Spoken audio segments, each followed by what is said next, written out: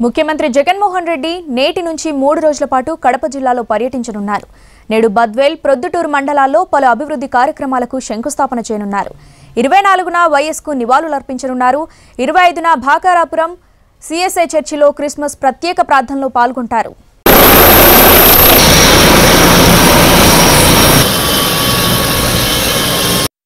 ముఖ్యమంత్రి జగన్ నేటి నుంచి కడప జిల్లాలో పర్యటించనున్నారు.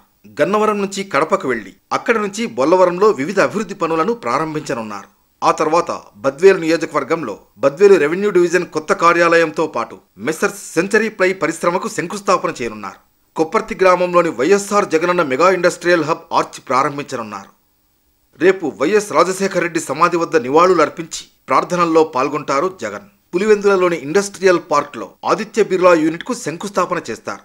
ఆ తర్వాత వైఎస్ఆర్ జగనన్న హౌసింగ్ కాలనీలో ఇళ్ళ పట్టాల పంపిణీ బహిరంగ సభలో లబ్ధిదారులతో ముఖాముఖిగా మాట్లాడనున్నారు. మోడల్ పోలీస్ స్టేషన్తో పాటు రాణితోపు సమీపంలో ఆక్వా హబ్ను ప్రారంభించనున్నారు.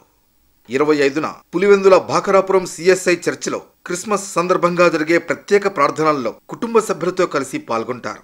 చర్చిలో ఏర్పాటు చేసిన షాపింగ్ కాంప్లెక్స్ను ప్రారంభించనున్నారు. అక్కడి నుంచి తాడేపల్లిలోని నివాసానికి చేరుకోనున్నారు.